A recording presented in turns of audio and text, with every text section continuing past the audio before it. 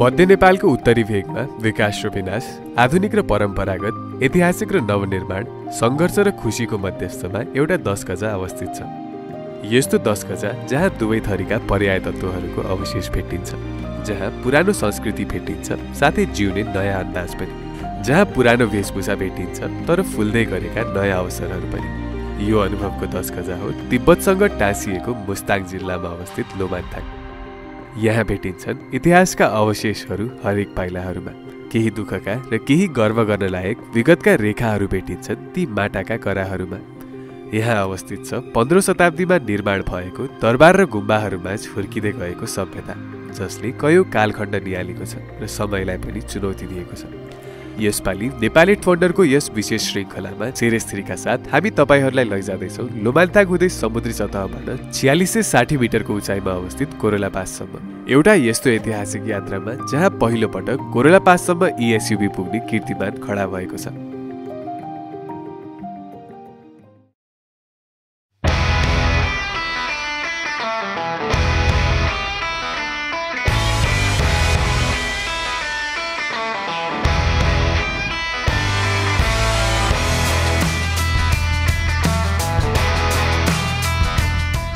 काठमाडौँ। यहाँ सबै थोक खुम्चिएर भए पनि अटाएकै हुन्छ।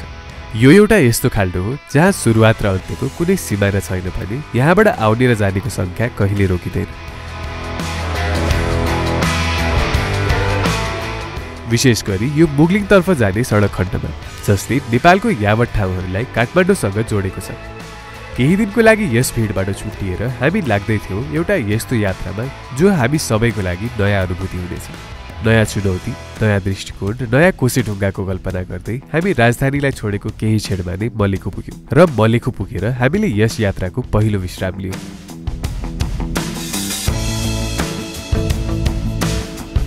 हेलो एभ्रिवान नमस्ते। माइनिज भण्डारी एन्ड युआर प्रत्येक अँ नाम चाहिँ प्रतीक हो है?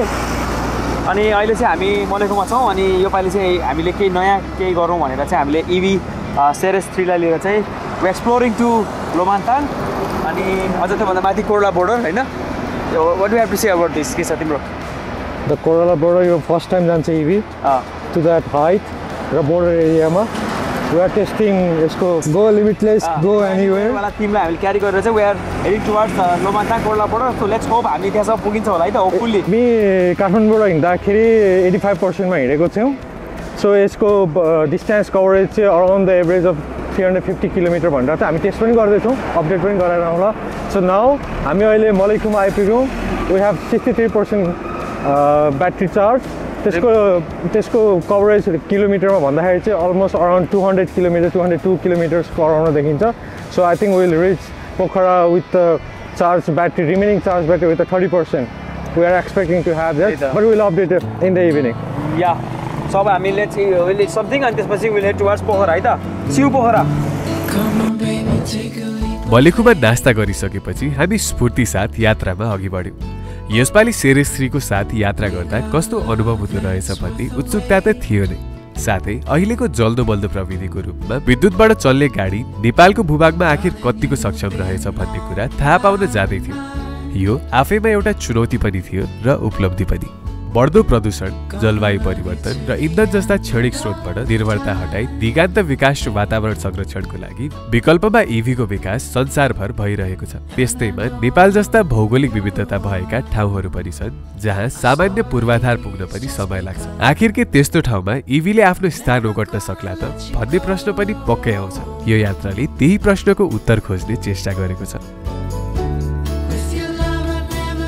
अहिले भर्खरै हामी यहाँ कुरिन्टार आइपुग्यौँ है अनि यहाँ चाहिँ यो दिगो को चाहिँ हामीसँग यो हाम्रो इलेक्ट्रिक फास्ट चार्ज गर्ने भनौँ न फास्ट चार्जिङ स्टेसन रहेछ है। त्यस नेपालमा अहिले चाहिँ धेरै चार्जिङ स्टेसनहरू खोलिरहेको छ जसले गर्दाखेरि ट्राभलर्सहरूलाई एकदम सजिलो हुन्छ ट्राभल गर्नलाई। अब अलिकति अब पन्ध्र बिस मिनट हामी चार्ज गर्छौँ होला यहाँ। युनिटको बेसमा पैसा लिनु हुने रहेछ so that is really good तपाईँले फुल चार्जै गर्नुपर्छ भन्ने छैन।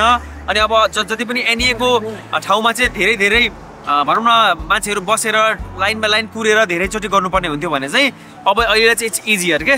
सो यस्तो यस्तो जति धेरै भयो त्यति हामी जस्तो इभी युजर्सहरूलाई अथवा इभी चलाउने मान्छेहरूलाई सजिलो हुने हुन्छ है त? सो अब चार्ज गर्छौँ हामी। गाडीलाई चार्ज गर्न त्यति समय लागेन र हामी फेरि यात्रामा निस्क्यौँ। कुरिन्टारबाट अगाडि बढेपछि राजमार्गको छेउमा त्रिशुली नदी बगिरहेको देख्न सकिन्थ्यो। हामी त्यही नदीको किनार नै किनार यात्रा गरिरहेका थियौँ। रसुवाबाट बग्दै बग्दै आएर त्रिशुली नदी गण्डकीमा मिसिन्छ काठमाडौँको नजिक भएर बग्ने नदीमध्ये एक हो त्रिशुली। मर्स्याङदी र त्रिशुली नदीको दोभानमा रहेको मुगलिन पुगिसकेपछि हामी पोखरा जाने पृथ्वी राजमार्गतर्फ मोडियो। काठमाडौँ धादिङ चितवन तनहु र अन्त्यमा गएर कास्की जिल्लालाई छुने पृथ्वी राजमार्गले काठमाडौँ र पोखरालाई जोडेको छ। काठमाडौँबाट पोखरा लगभग दुई सय किलोमिटरको दूरीमा रहेको छ। यात्रा लामो दूरीको नभए तापनि हामी भने बिस्तारै यात्रा गरिरहेका थियौँ। झमक्क साँझ परिसकेपछि हामी पोखरा पुग्यौँ। हामी सबैको लागि पोखरा परिचित ठाउँ तर पनि हरेकचोटि पोखरा छुट्टै प्रकारले सुन्दर देखिने गर्छ। साँझको झिलिमिली र लेक साइडको मनोरम दृश्यले सदा चाहिँ फेरि पनि पोखराले मन लोभ्याएको थियो।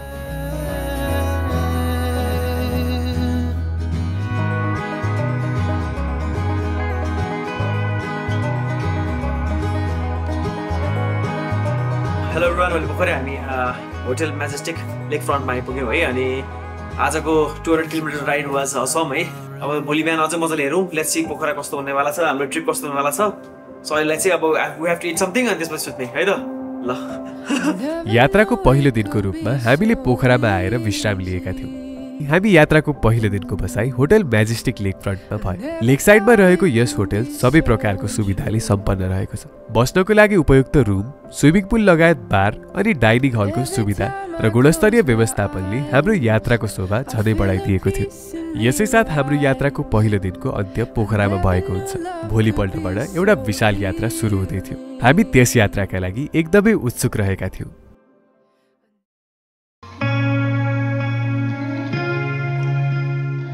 फेवातालको गर्तमा दिलले जन्म लिइरहँदा त्यहाँ तैरिरहेका ढुङ्गाहरूले अनगिन्ती मुसाफिरहरूको कथा बयान गर्दथे। यहाँ जो आउँछ पोखरालाई मुटुभरि नसजाई आखिर कसरी जान सक्छ? यात्राको दोस्रो दिनको सुरुवात यस रुमानी सहरबाट हुँदै थियो।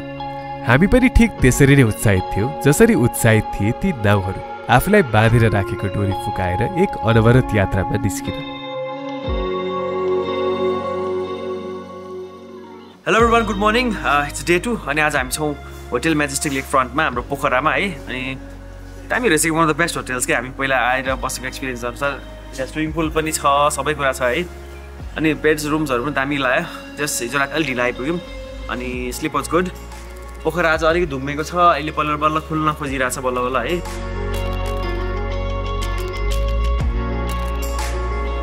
अब so let's have our breakfast let's eat एकदम भोक लाग्छ आउनु यता। होटेल म्याजेस्टिक लेक फ्रन्टको आतिथ्यमा हामीले एक आरामदायी वातावरण पाएका थियौँ। कुनै पनि लामो र कठिन यात्राको अगाडि यस्तो आतिथ्य पाउँदा कथाको सुरुवात राम्रो भए चाहिँ लाग्थ्यो। तर हामी त्यो वातावरणमा बसिरहनको लागि पक्कै आएका थियौँ। नास्ता खाएर केही बेर आराम गरे पश्चात त्यहाँबाट निस्किने निदो गर्यौँ। नयाँ र बेग्लै अनुभव बटुलले चाहले होला सम्पूर्ण टिमको मुहारमा एक छुट्टै रौनक थियो। मौसम धुम्बिएकोबाट अनुकूल हुँदै थियो भने यसरी जीवनले एउटा नयाँ यात्राको गति पक्रिएको थियो। समयको परिवर्तन साथ अरू धेरै कुरामा आएको परिवर्तन हामी माझ ओझेल हुन सकेको थिएन। विश्वमा दिगो विकासले ल्याएको लहरमा नेपालले पनि सुरमा ताल नमिलाएको होइन। जसकारण आजकाल सडकमा विद्युतबाट चल्ने गाडीहरू देखिन थालेका छन्। साथै जलवायु परिवर्तनप्रति धेरैको ध्यान आकर्षण पनि भएको छ। यसपालि त इभी एसयुभीको साथ भएर होला। हामी नै आधुनिकताको अनुयायी बनिदिएका थियौँ। यात्राको दौरान कतै आधुनिक त कतै परम्परागत सबै किसिमका प्रविधिहरू भेट्ने हामीलाई बानी परिसकेको छ। यसपालि पनि इएसयुबी सङ्घको यात्रा हामी सबैको निम्ति अनौठो र नयाँ थियो मस्तिष्कमा धेरै प्रश्नहरू थिए इएसयुबीको क्षमता र सक्षमतालाई लिएर जसको उत्तर सायद यस यात्राले नै दिनेछ। हामी पोखराबाट बागलुङ जाने सडक खण्डमा भेटिएका दृश्यहरूमा नै हराउन व्यस्त थियौँ। चिसो बतास र न्यानो घामको सम्मिश्रण आफैमा प्रिय भइरहेको थियो। पोखराबाट हिँडेको केही समय पश्चात हामीले लुम्लेमा पुगेर पहिलो विश्राम लियौँ। हामी यहाँनिर बिस्तारै गइरहेछौँ आज हाम्रो डेस्टिनेसन भनेको क्लिफ हुन्छ कुस्मामा क्लिफमा बस्छौँ र भोलि चाहिँ हामी लेट्टे पुग्छौँ। लुम्लेमा खाजा खाइसकेपछि अगाडि बढिरहँदा भौगोलिक विकटतालाई छिचोल्दै बनेका सडक र बस्तीहरू देख्यौँ। जाडोले पूर्ण रूपमा बिदा मागिसकेको थिएन त्यही भएर हामी घामको पर्खाइमा थियौँ। यात्रा पनि कतै घाम त कतै छाया जस्तो भइरहेको थियो। बागलुङसम्मकै सडक खण्ड गुणस्तरीय रहेछ। पोखरा त आफैमा एउटा चिरपरिचित पर्यटकीय गन्तव्य हो। त्यहाँ सुविधाहरूको कुनै कमी छैन। प्राकृतिक सघनता हुँदाहुँदै पनि जुन हिसाबको विकास यहाँ हामीले देखिरहेका थियौँ त्यो पनि प्रशंसाजनक नै थियो। पोखराबाट मासतिर लाग्ने बित्तिकै सेती गण्डकी नदी सडक छेउमा बगिरहेको देख्न सकिन्छ। उष्णदेखि समशीतोष्ण हावापानी पाइने हुनाले छेउछेउमा बाक्लो र हरियो वन जङ्गल रहेको थियो। लुम्ले कटिसकेपछि हामीले कास्की जिल्ला पार गरेर पर्वत जिल्ला प्रवेश गरेका थियौँ। वरिपरि पहाड र हिमालले घेरिएको यस क्षेत्रको मौसम अत्यन्तै अनुकूल रहेको थियो। त्यो चिसोपना र उष्णताले हामीलाई लोभ्याएको थियो। नेपालको अर्को एउटा प्रिय पक्ष भनेको पनि यही हो जस्तो लाग्छ। यति भौगोलिक विविधता छ कि केही घन्टा यात्रा गर्न साथ फरक मौसम र फरक वातावरणको स्वाद चाख्न पाइन्छ। हेलो एभ्रिवान अहिले भर्खरै हामी यहाँ क्लिफमा आइपुग्यौँ है अनि आजको हाम्रो स्टे चाहिँ यहीँ हुनेवाला छ। अनि अर्को के राम्रो कुरा रहेछ क्लिफमा भन्दाखेरि चाहिँ इभी लिएर आउनु भएको छ भने पनि यहाँ चार्जिङ स्टेसन चाहिँ छ है डिसी चार्जिङ सो यसले गर्दा फास्ट चार्जिङ हुन्छ है। अब हामी यहाँ सामानहरू निकाल्छौँ पारी जान्छौँ क्लिकमा आज रमाइलो गर्छौँ। बागलुङ र पोखरा बिचमा रहेको पर्वत जिल्लामा पर्ने कुशमा पहिलेदेखि एउटा चर्चित स्थान हो। तर अहिले भने कुस्माले आफ्नो परिचयलाई फराकिलो पारिसकेको छ कुस्मा भन्दा साथ धेरैले बन्जी जम्पसँग जोड्ने गरेका छन्। यसको विशेष श्रेय कुस्मामा रहेको द क्लिफ नेपाललाई नै जान्छ। यसो दाइज हियर ल अब good to have Nepal specially again. Hemant back again Hey. त्यही हो Thank you so much, दाइ। Always a pleasure thank you so much कुस्माको the क्लिफमा आउँदा हामीले सधैँ घर चाहिँ महसुस गर्ने गरेका छौँ। यहाँ नौवटा एसी र वाइफाईको साथ डिलक्स कटेज पनि रहेको छ भने अरू गुणस्तरीय बस्ने ठाउँहरू पनि छन्। केही दिनको लागि आउने हो भने क्लिफले रमाइलो अनुभूति दिनेछ भन्ने कुरामा हामी विश्वस्त छौँ। यसै गरी द क्लिफमा आएर हाम्रो यात्राको दोस्रो दिन पनि अन्त्य भएको थियो।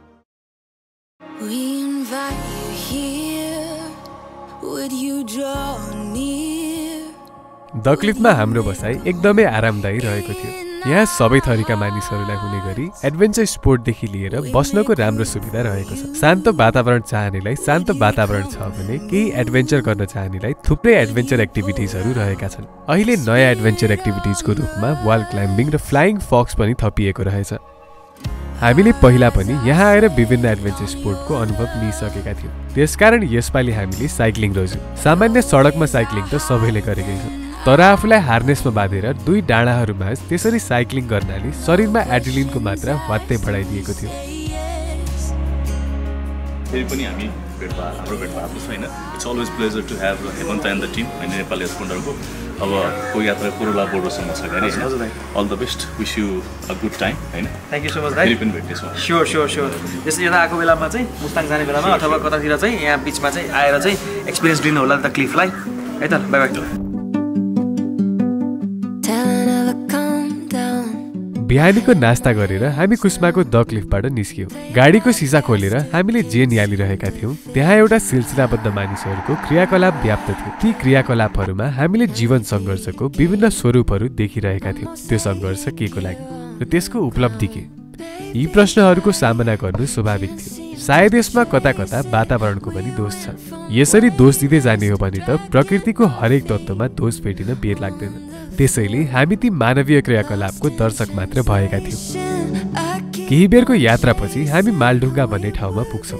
त्यहाँबाट दुईवटा बाटो छुट्टिन्छ। एउटा मुक्तिनाथतर्फ जाने र अर्को ढोरपाटनतर्फ जाने। हामीले भने मुक्तिनाथतर्फ जाने बाटो रोज्यौँ.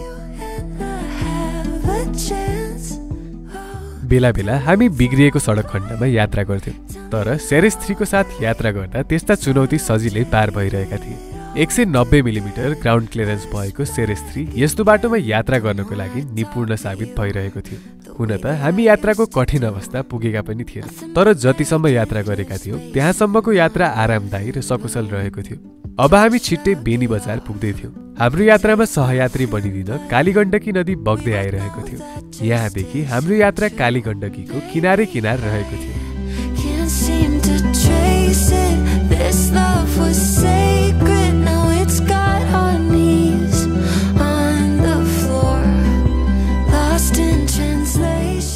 हामीले चाहिँ गो लिमिटलेस गो एनिवेयर भन्ने थिमलाई क्यारी गरेर सेरेस थ्री लिएर हिँडिरहेको छौँ है। हाम्रो बल्ल अफर अलिअलि सुरु भएको छ। यहाँभन्दा अझ माथि चाहिँ म्यासिभ अफर आउँछ आउनेवाला छ। सो तलको ग्राउन्ड क्लियरेन्स चाहिँ एकदमै इम्पोर्टेन्ट भाइटल छ यसमा चाहिँ one ninety MM that is really great for EV के? अब so अब let's eat खाना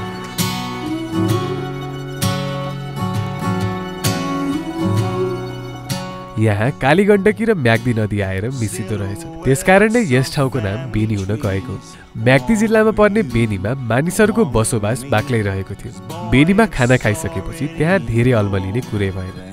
त्यसपछि भने हामी बेनी हुँदै जोमसङसँग जाने बाटोतर्फ लाग्यौँ।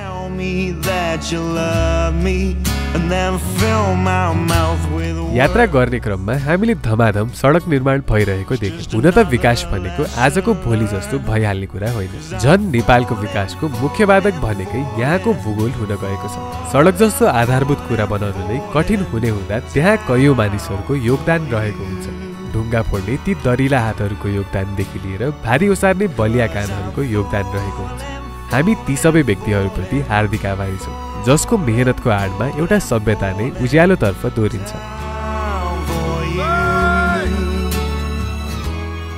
हामी जति जति अगाडि बढ्थ्यौँ सडक झन्झन चुनौतीपूर्ण हुँदै गइरहेको थियो। अहिलेसम्मको चुनौतीमा सेरेस्ट्री नपत्याउँदो पाराले खर उत्रिएको थियो। इभीको प्रयोग गर्दा नेपालको जस्तो सडकमा कतिको उपयुक्त हुन्छ या हुँदैन। अरू देशहरूको तुलनामा यहाँ यसको भविष्य छ वा छैन भन्ने यावत प्रश्नहरू नआउने होइन। संसारको यातायात बजारमा जुन किसिमले इभी बढ्दैछ लाग्छ इभीको भविष्य जस्तो भए पनि सकारात्मक नै हुनेछ र कुरा आउँछ यसको क्षमताको। हाम्रो यसपालिको यात्रा त्यसैको सेरोफेरमा रहेको छ। इभी प्रति हामी सबैको आआफ्नै पूर्वाग्रहहरू छन् जुन सकारात्मक पनि होला र नकारात्मक पनि। तिनै पूर्वाग्रहहरूलाई बिस्तारै परिवर्तन गर्नु नै यस यात्राको मूल उद्देश्य हो। रूप्से झरना पुगेपछि हामीलाई मुस्ताङ पुग्नुको अनुभूति हुन थाल्यो। त्यहाँको बाटो पनि बन्ने तर्खरमा रहेछ। जुन हिसाबले हामी त्यस कठिन बाटोमा पनि अगाडि बढिरहेका थियौँ गो लिमिटलेस गो एनिवेयरको प्रत्यक्ष उदाहरण पाइरहेका थियौँ। घाम अस्ताएको त्यस भूगोलबाट हेर्न पाउँदा हामी एक मनले गदगद भयौँ। त्यतिका वर्षमा धेरै कुरा बदलिसकेको रहेछ। बदलावको मुख्य कारण समय हो। केही वर्ष यता हामीलाई यही बाटो हुँदै यात्रा गरेको सम्झना ताजा भइरहेको थियो। यस बदलावमा अलिअलि मानवीय कारण पनि हुन सक्छ। तर जे होस् साँझ परिसक्दा हामी मुस्ताङको लेते पुगिसकेका थियौँ। दिनभरिको अनवरत यात्रा पश्चात कालोपानी गेस्ट हाउसमा पुग्दा हामीलाई राहत मिलेको थियो। अहिले भर्खरै हामी कालोपानी गेस्ट हाउस आइपुग्यौँ है। हामी यहाँ मुस्ताङ आउँदाखेरि चाहिँ लगभग तिनचोटि जस्तो आइसक्यौँ अनि this is our third time यहाँ होइन दाइ? पहिला पनि आउँदाखेरि लकडाउनमा आएको थियौँ एकचोटि एकचोटि बिचमा ग्राजिया लिएर आएको थियौँ। This is the third time होइन? हामीले सेरेस थ्रीलाई चाहिँ माथि करोडा बोर्डरसम्म लिएर जाने भनेर यहाँ यहाँ आइपुग्यौँ अहिले चाहिँ। अनि अब हामी यहाँ बस्छौँ त आज के खुवाउनुहुन्छ त हामीलाई? टिपिकल थकाली दाना। थकाली खाना। सो अब हामी खाना खान्छौँ यहाँको हल्का बिरोल्सहरू लिन्छौँ सर्ट लिन्छौँ। So welcome to Kalopani guest house होइन दाइ? ल यस्तो। ल। That has led us here today.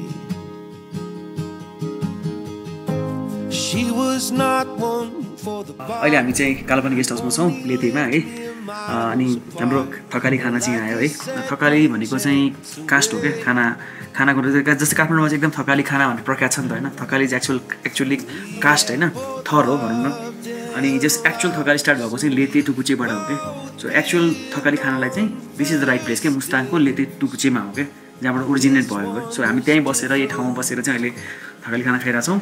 So अब इन्जोय इन्जोय गर्छौँ and see in the morning good night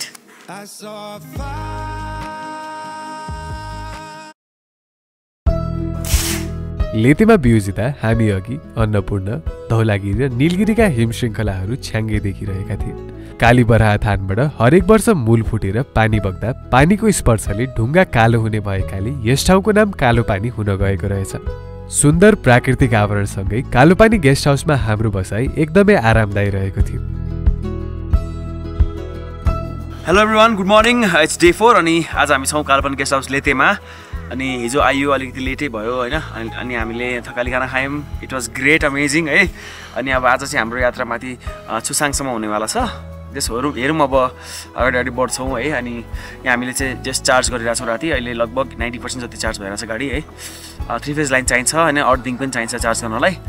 so भनौँ न अब यसरी यस्तो बाटोमा हामी we trying to create history as you all know जसले त्यहीमा बिहान एकदम राम्रो हिमाल खुला छ वरिपरि हिमाली हिमाल छ है। यतातिर यता हिमाल छ अलिअलि छेकिन्छ तर पनि छेके पनि हिमाल स्टिल छ यहाँ वरिपरि हिमाल छ।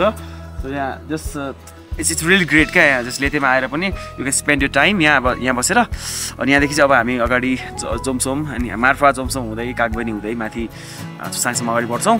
अब ब्रेकफास्ट खाने बेला भयो। Let's have our breakfast guys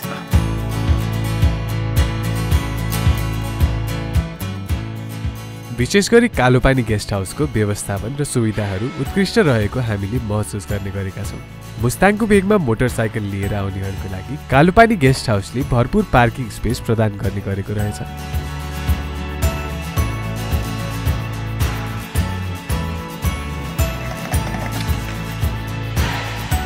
सबैजना आफ्नै तरिकाले त्यस ठाउँमा रमाइरहेका थिए। केही क्षणपछि हामी लेतेबाट अघि बढ्नको लागि तयार भयौँ।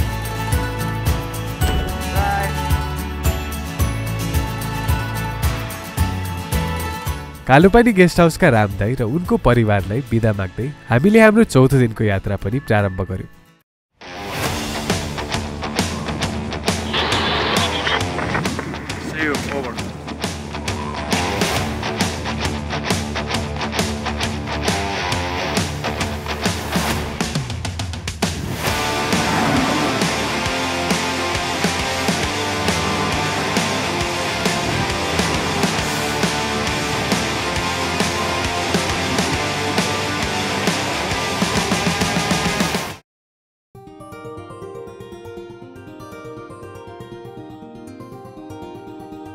मुस्ताङ जिल्ला।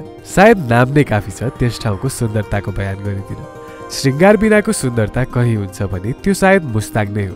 मरुभूमि खण्ड सुरु भएको पनि थिएन त्यही पनि हामीले एउटा बेग्लै परिवेश फेला पारिसकेका थियौँ। पैँतिस सय त्रिहत्तर वर्ग किलोमिटरमा फैलिएको यस जिल्ला प्रकृति प्रेमीहरूको लागि मानव स्वर्ग हो। समुद्री सतहबाट दुई हजार दस मिटरको उचाइदेखि आठ हजार एक सय सतसट्ठी मिटरको उचाइसम्मको भूभाग यस जिल्लाले समेटेको छ। सुन्दर हिम श्रृङ्खलाको दृश्यदेखि लिएर मरुभूमि जस्तो चट्टान मात्र भएको दृश्य एउटै जिल्लामा पाउनु आफैमा दुर्लभ मानिन्छ। यही दुर्लभताको कारण नै सायद मुस्ताङ हामी सबैमाझ यति प्रिय भएको छ।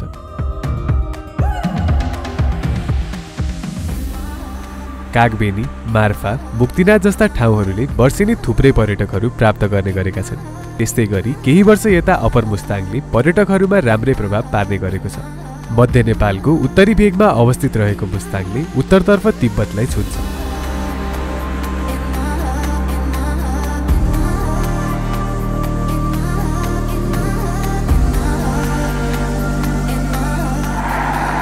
टुकुचे कटिसकेपछि सडक किनारमा बगिरहेको कालीगण्डक र आवरणमा टल्किरहेको हिमालले त्यहाँ यात्रा गर्नुलाई सार्थक तुल्याएको थियो।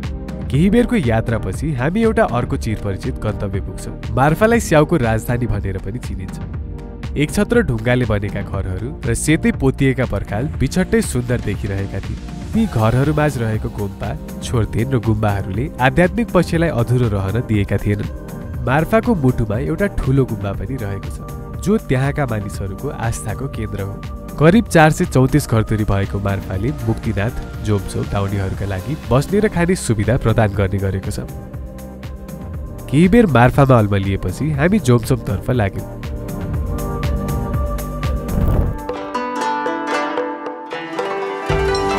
लेतेबाट नास्ता गरेर हिँडेको हामीले जोमसोममा खाना खाएका थियौँ। जोमसोम पनि मुस्ताङ जिल्लाको महत्त्वपूर्ण ठाउँमध्ये एक हो। काठमाडौँ कि त पोखरा सिधै हवाई मार्गबाट जोमसोमसम्म पुग्न सकिन्छ।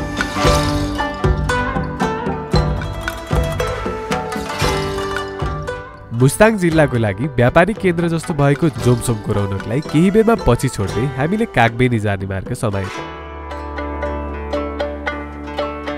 तिब्बत र बौद्ध संस्कृतिको सम्मिश्रणलाई यति नजिकबाट निहाल्न पाउँदा हामी खुसी भएका थियौँ। कसैलाई यो संस्कृति र सभ्यताबारे बुझ्न छ भने यहाँ नआइ हुँदैन जोमसोमबाट कागबेनीतर्फ लागेपछि सुक्खा चट्टानहरूको पहाडहरू देखिन थाले। हरियाली न्यून हुँदै गइरहेको थियो। ती चट्टानी पहाडहरूको सुन्दर आकृतिको नेपथ्यमा हिमाल छनै खुलेको थियो सेरेस थ्रीको साथ हामीलाई त्यस बाटोमा यात्रा गर्न कुनै कठिनाई भए जस्तो लागेन। हुन त बाटोमा चार्जिङ स्टेसन कतै पनि थिएन जुन आफैमा एउटा जोखिम पनि हो। हामीले अघिल्लो दिन गरेको चार्जले नै पुगिरहेको थियो। इभीको विकासको निम्ति अनुकूल वातावरण बनाउने हो भने ठाउँ ठाउँमा चार्जिङ स्टेसन हुनु अति आवश्यक रहन जान्छ।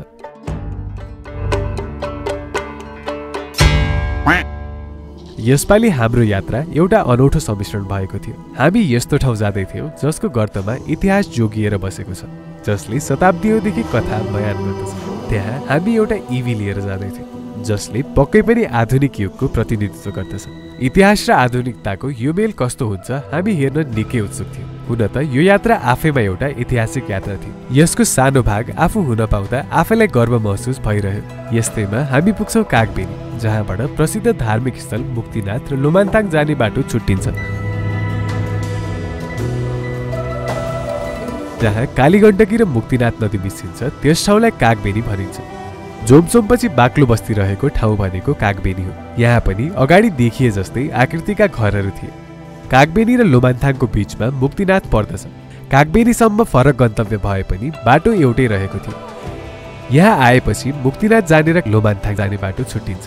हामी भने मुस्ताङको रोयल क्यापिटल लोमान्थाङ जाँदैथ्यौँ। त्यही भएर हामीले अर्कै बाटो रोज्यौँ। सामान्यतया हामी इन्धनबाट चल्ने सवारी साधन प्रयोग गरिरहेका हुन्छौँ। त्यस्तै गरी आर्थिक पक्ष पनि हेर्ने हो भने नेपालीको सबैभन्दा धेरै आयात गरिने वस्तु भनेकै इन्धन हो। हाम्रो इन्धनको खपत नै यति धेरै छ कि त्यसबाट एकैचोटि अर्कै स्रोततर्फ परिवर्तन गर्न पनि गाह्रो छ।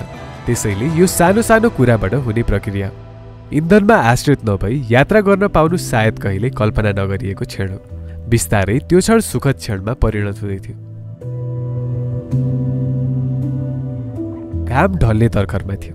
माथि उक्लदै जाँदा मौसममा आएको परिवर्तन महसुस गर्न सकिन्थ्यो। यस यात्राले हामीलाई साहस सिकाएको थियो। जुन कुरा सायद असम्भव हुन्थ्यो त्यो सम्भवतर्फ मोडिने सम्भावना देखाएको। एकपछि अर्को कोसे ढुङ्गाहरू पार गर्दै जाँदा विगतका यात्राहरू पनि सम्झियो। मुस्ताङको आवरणलाई सालोपछि फेरि यसरी निहाल्ने मौका पाएका थियौँ। हुन त यसको सुन्दरता नै यस्तो छ कि न कुनै हरियाली न कुनै पात पतिङ्गर तर पनि त्यो बनोट खोला अनि आकाशले सबै कुरालाई सही मात्रामा सही रङ भरिदिएर सुन्दर बनाएको जस्तो भान हुन्छ।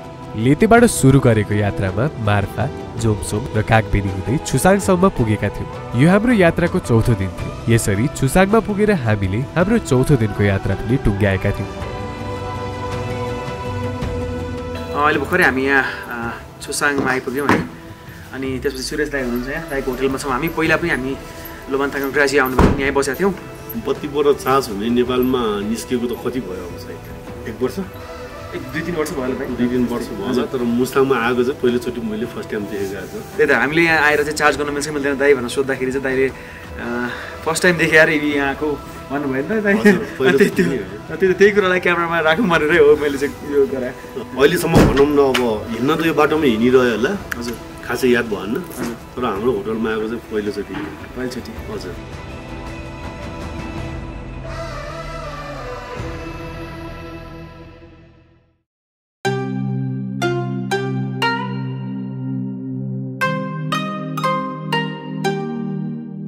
वरिपरि रातो चट्टानहरूले बनाएको प्राकृतिक पर्खाल मुनतिर छुसाङ रहेको छ।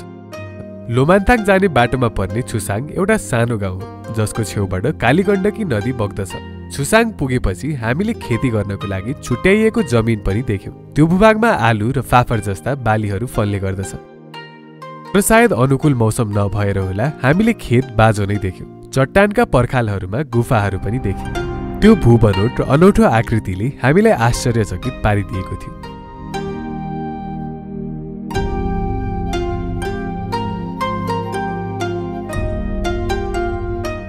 गुड मर्निङ एभ्रिवन आज हामी चुसाङमा छौँ। हिजो जमसम्म खाना खाएर हामी बेलुका सात बजीतिर आइपुग्यौँ। रातभरि गाडी पनि चार्ज गऱ्यौँ। अहिले हामी यहाँको लोकल फापडको रोटी त्यसपछि सिमी तरकारी आलु र रोटी अर्को रोटी पनि खाँदैछौँ। चिया पनि आउँदैछ। अलिअलि चिसो छ। पाइपमा पानी पनि जमिरहेछ। चिसो चाहिँ चिसै छ। ओके सी एभ्रिबडी छुसाङमा पुगेपछि मौसम चिसिएको थियो। स्थानीयहरूको दिन सुरु भएसँगै हामीले यो थाहा पाएका थियौँ कि च्याङ्ग्रा पालन र कृषि नै त्यहाँको मुख्य आर्थिक क्रियाकलाप रहेछ। उस्तै ढुङ्गाका घरहरू र छोर्तेनहरूले त्यस ठाउँलाई छनै सुन्दर बनाएको थियो।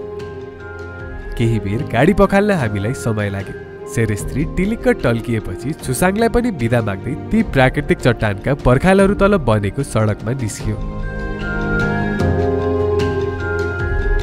कुनै उत्खनन गर्न बाँकी रहेको खण्डहरू जस्तो थियो हामीले यात्रा गरिरहेको खण्ड। सबै कुरा यथावत नै रहेको जस्तो केही पनि विकृत नभएको। सबै तत्त्वहरू त्यसै छोडिएको र कसैले पनि त्यहाँ कुनै किसिमको हानि नपुर्याइरहेको प्रकृतिमा आफै सुन्दर हुने सक्षमता छ तर त्यसलाई हानि पुर्याउने मानवीय क्रियाकलापहरू नियन्त्रण गर्नुपर्ने हुन्छ। नत्र जुन सुन्दरताको बयान आज हामी गरिरहेका छौँ त्यो सुन्दरता भोलि कायम नहुन सक्छ। इतिहास र संस्कृति कुनै पनि सभ्यताको निम्ति धरातल हो। यदि त्यो धरातल भत्किन्छ भने विकासको औचित्य के रहन्छ? त्यही भएर समयको बदलावसँगै केवल विकास नभएर एक अर्थपूर्ण दिगान्त विकास आवश्यक रहन्छ। पछिल्लो केही वर्षहरूमा बढ्दो जलवायु परिवर्तन र वातावरण प्रदूषणलाई मध्यनजर गर्दै विकासप्रतिको अवधारणालाई अलिकति फराकिलो पारेको छ। सस्टेनेबिलिटी भन्ने शब्द हामी खुब सुनिरहेका हुन्छौँ। यदि कुनै पनि विकास भविष्यमा देखा पर्न सक्ने असरलाई आङ्कलन गर्दै गरिन्छ भने त्यो सस्टेनेबल अप्रोच हुन जान्छ। यातायातको क्षेत्रमा सस्टेनेबल एप्रोच भनेको इन्धनको कमभन्दा कम प्रयोग गर्नु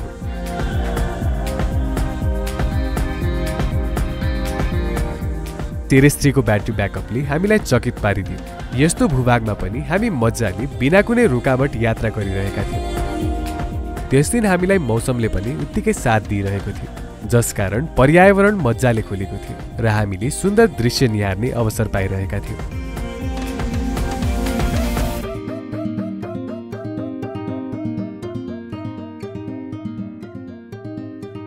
बाटोमा कतै बग्दा बग्दै जमेको झरना भेटिन्थ्यो भने कतै सुक्खा धुलो उड्ने भूभाग। आखिर यिनै दृश्यहरू नै त हुन् जसले यात्रीहरूको थकान मेट्छ होहल्ला र कोलाहालबाट टाढा यस्तो शान्त ठाउँ केही दिनकै यात्रामा आइपुग्दा रमाइलो महसुस भइरहेको थियो।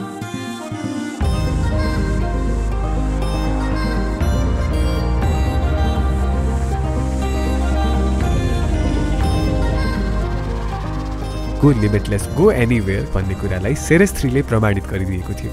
कुनै पनि आविष्कारले मानव जीवनलाई कसरी प्रभाव पार्दो रहेछ भन्ने कुरा हामीलाई यहीबाट थाहा हुन्छ। इन्धनबाट चल्ने गाडीको समस्या भनेको वायु प्रदूषण हो। इभी त्यसैको विकल्पमा प्रयोग गर्न सकिन्छ। कतिपय देशहरूले त इन्धनबाट चल्ने सवारी साधनलाई पूर्ण रूपमा निर्मूल नै गरिसकेका छन्। जुन लामो समयको अन्तरालमा भएको छ। नेपालमा पूर्ण रूपले भइहाल्न त अहिले कठिन छ। तर बिस्तारै इभीतर्फ जानु नै वातावरण र आर्थिक दृष्टिकोणबाट फाइदाजनक देखिन्छ।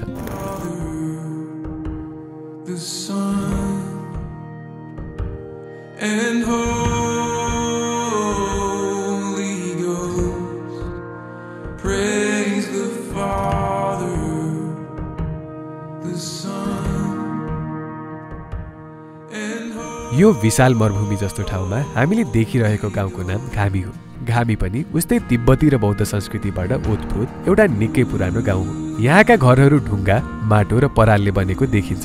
साथै त्यहाँका घरहरूमा कुदिएका र लहराएका झण्डाहरूले आध्यात्मिक सुन्दरता प्रदान गरिरहेका थिए। अलिकति अगाडि बढ्ने बित्तिकै थाकमार र साराङ जाने बाटो छुट्टिँदो रहेछ। हामी भने साराङतर्फ मोडियौँ। घामीलाई पनि पछि छोड्दै। चट्टानका रातो प्राकृतिक पर्खालमै निर्माण भएको सडक हुँदै हामी यात्रा गरिरहेका थियौँ। ती चट्टानहरू त्यसरी रातो हुनुको कारण त्यहाँ पाइने आइरन अक्साइड भन्ने धातु रहेछ।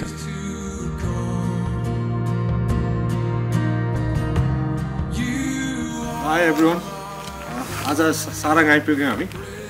हामी आज चुसाङबाट हिँडेको बिहान। लगभग ट्वेन्टी किलोमिटर्समा हामी लोमन्ताङ पुग्छौँ। गाडी देखि नै रहनु भएको छ अलिक धुलो छ।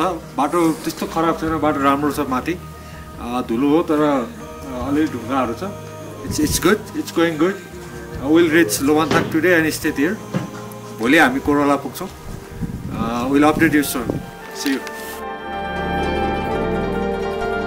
साराङ समुद्री सतहबाट पैँतिस सय साठी मिटरको उचाइमा अवस्थित छ। साराङ जाने बाटोमै हामीले निकै पुरानो छोर्तेन देख्न पाएका थियौँ। यहाँ हरेक गल्ली गल्लीमा बौद्ध धर्मको चिनारी पाउन सकिन्थ्यो। उही ढुङ्गाले बनेका घरहरू थिए। हामी पाहुना भएका थियौँ र त्यहाँको वातावरणले हामीलाई हाँसेर स्वागत गरिरहेको थियो। हावाको बेगसँगै फरफराइरहेका झन्डाहरूले वातावरणमा झन मिठास थपिदिएको थियो। यहाँ देखिएको कैयौँ वर्ष पुराना घर छोर्तेन र गुम्बाहरू आफैमा एउटा इतिहास बयान गर्थे।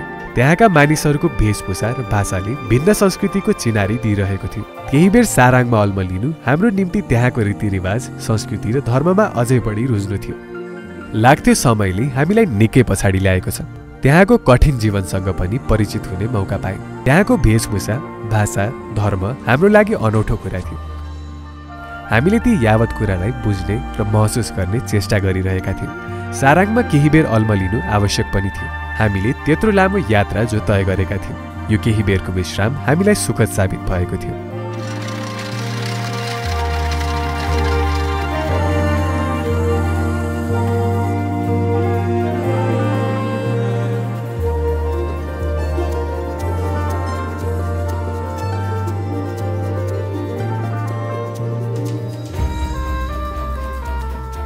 त्यहाँ नजिकै एउटा गुम्बा पनि रहेछ।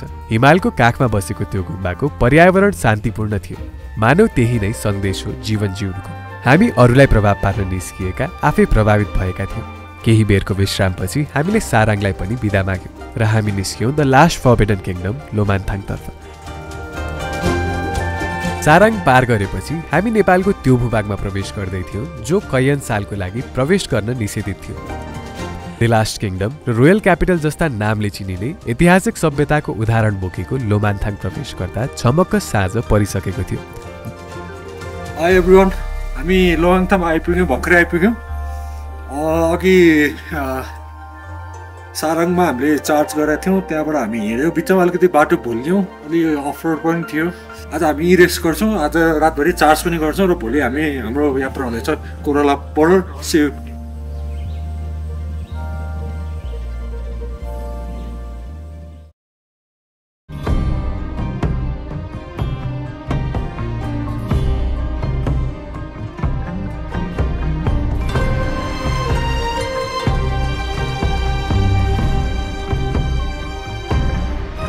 लोमान्थाङ इतिहासको पृष्ठमा कयौँ सालसम्म चट्टानहरूको परिधिभित्र समयको प्रभावबाट वञ्चित भई लेखिएको एक सभ्यता हो। मध्य नेपालको उत्तरी भेगमा तिब्बतसँग टाँसिएर खडा भएको यो साम्राज्य कयौँ सालसम्म त्यहीका स्थानीय राजद्वारा शासित हुने गर्थ्यो। भौगोलिक रूपले पनि टाढा भएको कारण नेपालको यो स्थान आफ्नै पुरानो अवस्थामा जोगिएर बसेको छ। सात सय सत्ताइस वर्ग किलोमिटरमा फैलिएको लोमान्थाङमा लोवा जातिका मानिसहरू बसोबास गर्छन्। लोवा जातिको उद्गम थलो भनेर तिब्बतलाई मानिन्छ। लोमान्थाङमा भेटिने अवशेषहरूको समय पहिचान गर्ने हो भने यसले हामीलाई पन्ध्रौँ शताब्दीतर्फ लिएर जान्छ। सन् उन्नाइस सय बयानब्बेदेखि मात्रै यो ठाउँ विदेशी पर्यटकहरूको लागि खुल्ला गरिएको थियो। त्यही कारण Lo Manthang the last forbidden kingdom भनेर पनि चिनिन्छ। नेपालबाट राजतन्त्र नहटुन्जेलसम्म यस सानो भूभागलाई त्यहाँकै राजाले शासन गर्ने गर्थे। लोमान्थाङको मुटुमा नै त्यो राजदरबार आज पनि भेट्न सकिन्छ। जुन पन्ध्रौँ शताब्दीमा बनेको भन्ने जनश्रुति रहेको छ। सेतो पोतिएको नौवटा कुना भएको र चार त्यो दरबार आज पनि आफ्नो पुरानै अवस्थामा यथावत सुरक्षित भइबसेको छ। लोमान्थाङमा आएपछि बुद्ध धर्मको अरू ठाउँभन्दा फरक चिनारी फेला पारिन्छ। ठाउँ ठाउँमा राखिएको छोर्तेन र गुम्बाहरूको उपस्थितिले त्यहाँ जो कोहीलाई पनि मन्त्रमुग्ध पारिदिने तागत राख्दछ।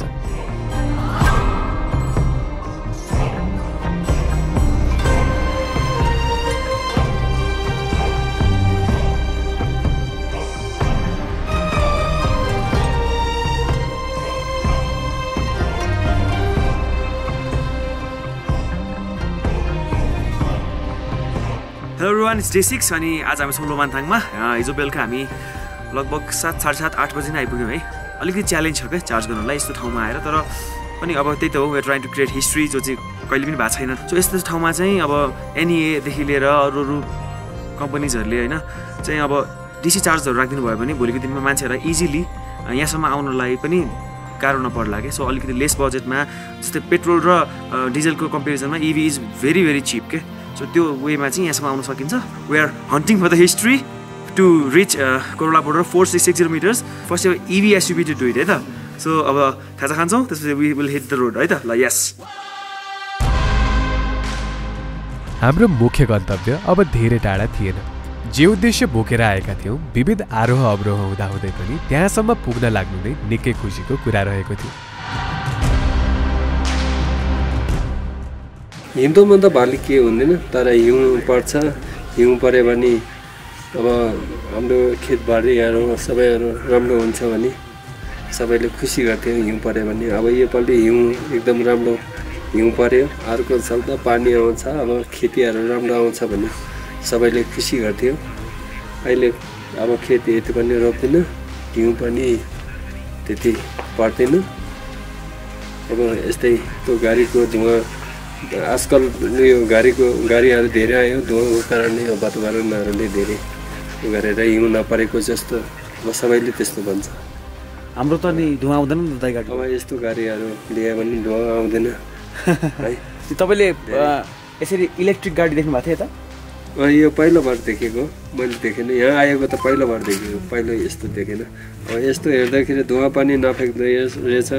यस्तो गाडी लिएर आउँदाखेरि त एकदम खुसी जस्तो पनि लाग्यो स्थानीयहरूसँग केही बेर समय बिताएर त्यहाँको धर्म र संस्कृतिबारे थाहा पाउने सुनौलो अवसर मिलेको थियो। लोमान्थाङले जुन इतिहास कालखण्ड र लोपान्मुख संस्कृतिको बयान गर्छ त्यसअनुसार यस ठाउँलाई विश्व सम्पदाको सूचीमा पर्न सक्ने सम्भावित ठाउँको रूपमा मानिएको छ। हामीलाई त्यो प्राकृतिक र ऐतिहासिक परिवेशलाई छोडेर जान मन नलागे पनि जानु अपरिहार्य रहेको थियो। हामी जहाँ पुग्न भनेर पहिलो दिनदेखि यात्रा गर्दै आइरहेका थियौँ। कोरोला पास केवल एक्काइस किलोमिटरको दूरीमा मात्र अवस्थित रहेको थियो। समुद्री सतहबाट छ्यालिस सय साठी मिटरको उचाइमा रहेको कोरोला पास नेपाल र तिब्बतको सिमानामा अवस्थित भूभाग हो। कोरोला पास जाने बाटोमा हिउँमा परिणत भएका नदीहरू पनि भेटिए। त्यो हिउँले जमेको बाटोमा गाडी कुदाउन अप्ठ्यारो भइरहेको थियो र सहयोगको लागि हामीले त्यहाँको सशस्त्र प्रहरीसँग गुहार पनि मागेका थियौँ। हामी लोमान्ताङबाट अगाडि चेकपोस्ट आयौँ अनि चेकपोस्टमा इन्ट्रीहरू गऱ्यौँ है। इन्ट्री गरेर माथि आइरहेको थियौँ एउटा खोला रहेछ क्या पुरै आइस जम्या छ है। खोला चाहिँ अनि हामीले यहाँ लोकल आर्मी एपिएफलाई सपोर्ट मागेका थियौँ अनि उहाँहरू सबै टोली आउनुभयो अनि अर्को गाडीको मान्छेहरू पनि आउनुभयो। सबैजना अहिले यता हेर्नु न कतिजना हुनुहुन्छ यहाँ। Every one is helping us के यो यो गर्नुलाई अनि दिस इज द टिम हो के? That that we all Nepali have क्या जुन भनौँ न ओभरअल सबैजना मिलेर गऱ्यो भने सकिन्छ भन्ने नै फिलिङ आइरहेको छ मलाई यो हेर्दाखेरि चाहिँ। यति टाढा आएर पनि हामीले सशस्त्र प्रहरी सरहरूको सहयोग पाएका थियौँ। उहाँहरूको योगदान सुरक्षा र सहयोगका लागि हामी सधैँ आभारी हुनेछौँ। यो भूभाग भौगोलिक बनावटको रूपमा पनि भिन्न रहेको छ। तिब्बतियन प्लेट्युसँग जोडिएको यस भूभागमा नेपालको चीनसँगको एउटा अर्को महत्त्वपूर्ण नाका पनि विकास हुने क्रममा रहेको छ। केरुङ खासा र पुराङ नाकापछि चीनसँगको यो नाका यदि विकास हुने हो भने निकै महत्त्व राख्नेछ। यसपालि हाम्रो यात्राको उद्देश्य पनि यहीँसम्म आउनु रहेको थियो। कुनै एकालस मरुभूमि जस्तो ठाउँमा अवस्थित कोरोला पाससम्म पुगेर पहिलो इएसयुभी त्यहाँसम्म पुगाउने कीर्तिमान बनाउनु नै पहिलो दिनदेखिकै हाम्रो मुख्य लक्ष्य रहेको थियो।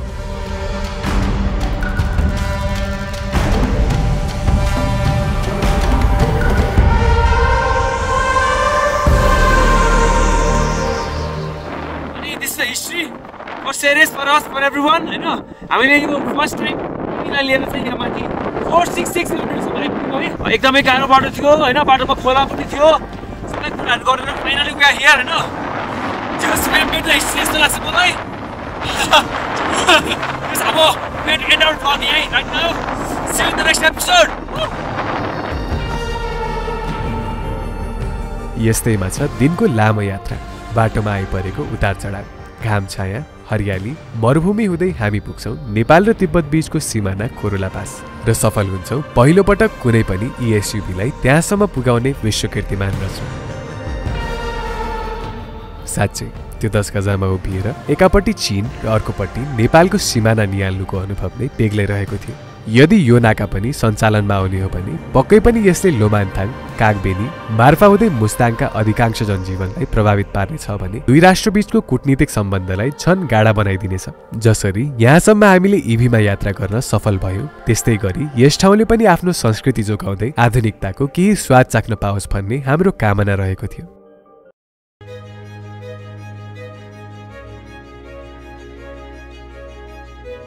लोमान्ताङ हुँदै कोरोला पाससम्मको यात्रामा हामीले धेरै कुरा बटुलेका छौँ। हामी यस्तो कालखण्डमा पुगेका छौँ जसको पर्खालभित्र बाँचिरहेको छ एक भिन्न सभ्यता एक भिन्न आचरण र भिन्न जीवन। ती जीवनहरूलाई नजिकबाट निहाल्नु तिनमा समयले ल्याएको अनुभवका आदर्शलाई सँगाल्नु सङ्घर्षका असीमित पाठहरू सिक्नु र सिकाउनु तिब्बती संस्कृतिलाई बुझ्ने कोसिस गर्नु र त्यहाँ पनि नेपालको चिनारी पाउनु मरुभूमि जस्तो भूगोलमा बाँच्नका निम्ति आधार पहिल्याउनु। आधुनिकता र इतिहासलाई समान्तर रूपले एउटै घेराभित्र राखेर ग्रहण गर्न पाउनु जस्ता विशेषताहरूले परिपूर्ण थियो यसपालिको यात्रा। कठिन बाटो कठिन उद्देश्य र कठिन गन्तव्य भए तापनि निरन्तर यात्रा र हिम्मतको मिठो फल साबित भएको थियो लोमान्थाङ पुग्दाको अनुभव। यतिका दिनको यात्रा पश्चात हामीले अन्त्यमा कीर्तिमान पनि बनाइछाड्यौँ। यो हामी सबैको उपलब्धि हो। यो सेरेस थ्रीको उपलब्धि हो। यो लोमान्थाङको सभ्यताको उपलब्धि हो र तपाईँ हाम्रो उपलब्धि हो। यो विशेष क्षणलाई सफल पारिदिएकोमा हामी हाम्रो स्पोन्सर दर्शकहरूप्रति अत्यन्तै आभारी छौँ। तपाईँहरूको साथ र मायाको लागि धेरै धेरै धन्यवाद। छिट्टै हामी यसै गरी फेरि अर्को श्रृङ्खलामा भेटिनेछौँ। त्यतिन्जेलसम्मको लागि बिदा दिनुहोस्।